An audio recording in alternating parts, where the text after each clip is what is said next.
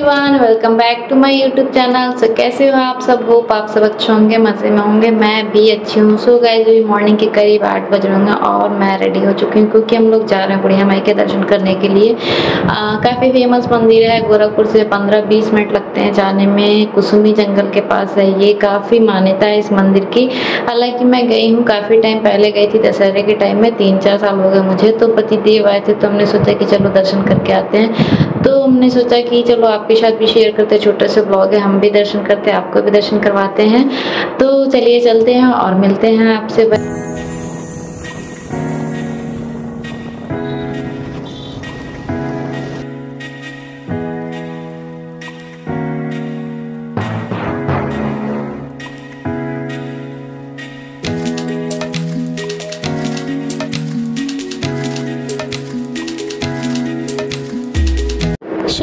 सामने माता रानी का main gate है। यहाँ से भी काफ़ी दूर है करीब डेढ़ दो किलोमीटर होगा। आ, तो हम पैदल जाने में काफ़ी दूर हो जाएगा। तो आप ऑटो या स्कूटी बाइक जो भी है उससे जा सकते हैं। पैदल थोड़ा दूर हो जाएगा और गर्मी थी तो हम लोग तो स्कूटी से ही गए थे। और ना यहाँ पे काफ़ी बंदर देखने को मिलते हैं। आपको बहुत ज़्यादा बंदर होते हैं। अभी तो कम है क्योंकि गर्मी का टाइम है मॉर्निंग का टाइम था तो काफ़ी कम बंदर थे।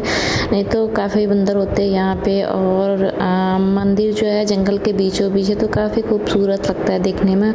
और हम पहुँच चुके हैं मंदिर के दोनों साइड। ये प्रसाद के स्टॉल लगे हुए हैं। यहाँ से हम प्रसाद ले लेते हैं, फिर अंदर चलते हैं दर्शन करने। तो फिर आपको दिखाते हैं।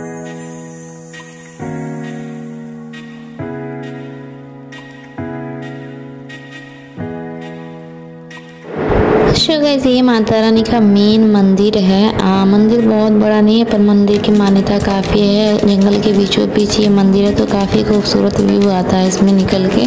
और दशहरे के टाइम यहाँ पे काफ़ी लंबी लंबी लाइनें लगती है। मैं भी जब पहली बार आई थी तो दशहरे के टाइम में ही आई थी। तो काफ़ी टाइम लगा था मैं दर्शन करने में लाइन में लग के। तो चलिए चलते हैं अंदर और हम भी दर्शन कर लेते हैं। आपको भी दर्शन करवाते हैं और उसके बाद से आपको बाहर का पूरा व्यू दिखाते हैं मंदिर का।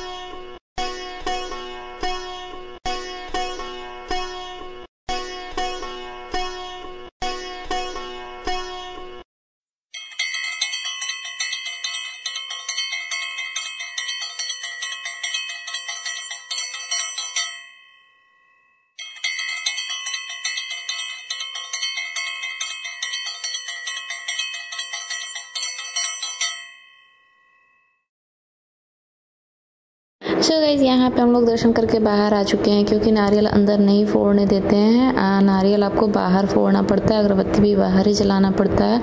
अंदर बस आप दर्शन कर सकते हैं। तो हम लोग दर्शन करके आ गए। यहाँ पे मैं अगरबत्ती जला लेती हूँ प्रसाद चढ़ा लेती हूँ और पतिदेव ने नारियल फोड़ दिया था। तो हम पूजा कर लेते हैं उसके बाद से चलते हैं पीछे के साइड। पीछे से आपको पूरा मंदिर का व्यू दिखाते हैं कितना खूबसूरत मंदिर है। और एक मान्यता इस मंदिर की ये भी है कि लोग कहते हैं कि जो माता रानी का दर्शन करने आते हैं ना उनकी अकाल मृत्यु नहीं होती है। और इनकी ये था माता रानी का मेन मंदिर और यहाँ पे नारियल वारियल फोड़ते हैं ये मंदिर